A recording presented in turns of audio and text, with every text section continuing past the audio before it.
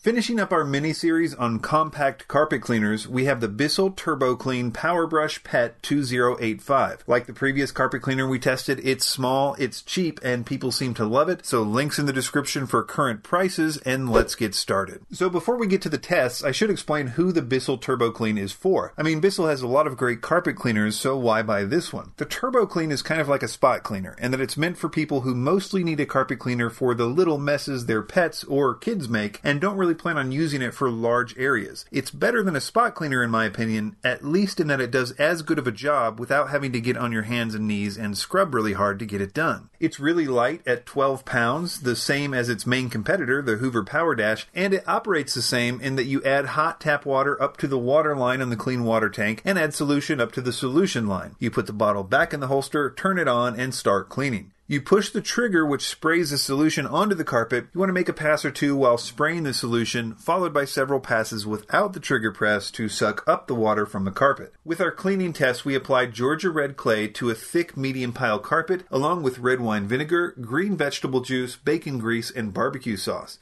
As with the Hoover test, I did not pre-treat any of these stains, but only used the basic shampoo that came with it in order to best judge the actual performance of the machine. But Bissell recommends pre-treating any actual pet stains with their pre-treatment spray, which is not included in the box, but I will link in the description. So after four passes, two with water and two without, it tackled the majority of these really tough stains. It wasn't perfect, but it was nearly identical to the Hoover Power Dash results at this point. Since that first test took almost a full tank, I refilled it twice more, once just for the clay stain and once again for the multiple stain row. The results were pretty good considering I didn't use any pre-treatment and considering how tough these stains were, though it was basically the same results as with the Hoover Power Dash. That being said, I did prefer the Bissell over the Hoover for a few reasons. As I mentioned in the Hoover review, cleaning carpet cleaners after each use is pretty important, and cleaning the Bissell was quite a bit easier than the Hoover. For example, instead of removing multiple screws to clean the brush and top portion of the plastic cover as with the Hoover, there was only one screw with the Bissell, and though, like the Hoover, you have to remove the belt, it was much easier to do with the Bissell. Also, the removable piece was easy to rinse out,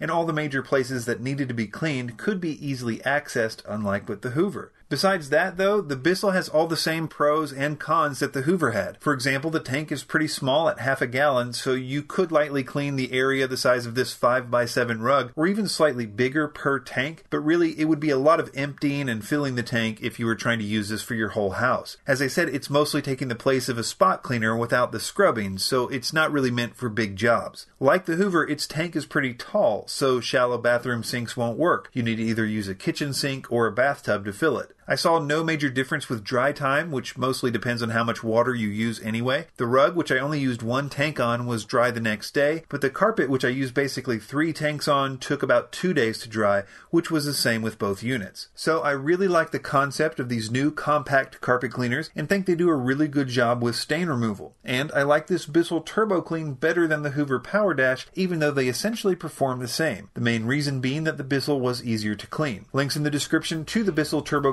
Power Brush Pet and the pre-treatment spray I mentioned, consider a like or a subscription to Vacuum Wars, and thanks for watching.